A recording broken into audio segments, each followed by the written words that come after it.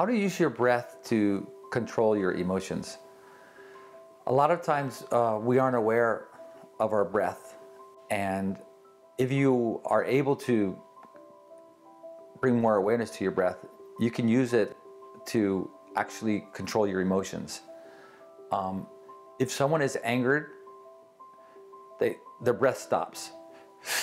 Oh, and they hold their breath, and you can release that anger through breathing, just through conscious breathing. And it's as simple as taking a full breath, inhale, filling yourself up, hold it inside, and then just say, I release this anger, and the out breath. And you do this consciously a few times until the anger dissipates and you feel more at peace with yourself. Um, it's as simple as that. And if if we were in um, if we were more aware of our breath throughout the day, we could really stay tuned into our um, to our, our higher feelings. And in yoga, we call it from emotions to devotions. And the more that you can move this energy from being stuck in your stomach and move it up to the, the heart center, the more that you can be coming from this place of love and joy. And a lot of it can be just done with, through the breath and the visualization of it.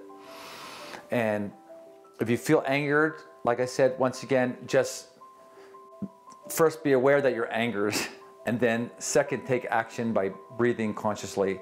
And by breathing in evenly, inhale.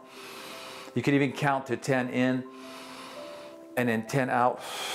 With the out breath, you breathe out of your mouth. And then while you're doing this, you can affirm, I am relaxed. You know, I am at peace. And just breathe in through the nostrils, through the nose. Fill yourself up and just see the, yourself in this, this place of peace and light. And, and remove yourself in the out breath. Re release yourself of the anger or the energy that's keeping you stuck. So the, the more that we can master emotions, it takes us to this place of living in devotion.